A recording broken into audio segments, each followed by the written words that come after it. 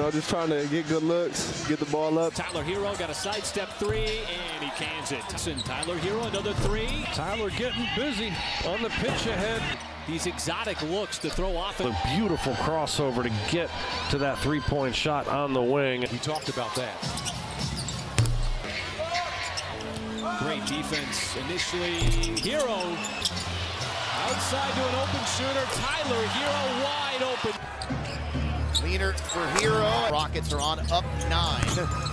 Coaches don't do that. They have enough on the plate. Herro looking for another one. He's hot. Whenever they're in the game playing with each other. Resets, shoots.